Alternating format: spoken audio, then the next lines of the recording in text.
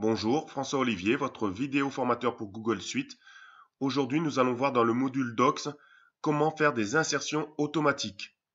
Donc voici le nom d'un village alsacien ou si je dois le réécrire, je risque de faire des fautes. Donc pour éviter cela, je vais commencer déjà par le sélectionner.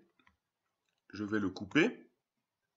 Je vais me rendre dans l'onglet Outils dans Outils, ensuite, je prends Préférences. Ici, j'ai une fenêtre qui apparaît. Et je vais ici, par exemple, mettre X, Y, Z qui sera remplacé par, et je colle Niederschaffolsheim, et par exemple, ZZZ sera remplacé par Bonjour. Ça va. Je fais OK.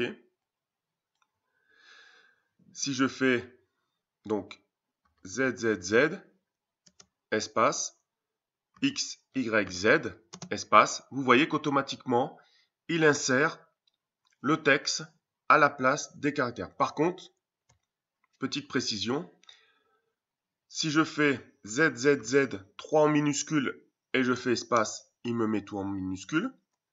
Si je fais le premier Z en majuscule, les deux autres en minuscule, la première lettre du mot, enfin de, l'expression est en majuscule.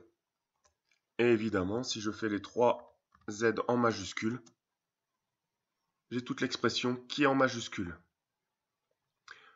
Je vous remercie d'avoir suivi cette vidéo formation et je vous dis à très bientôt pour une nouvelle vidéo formation sur Google Suite.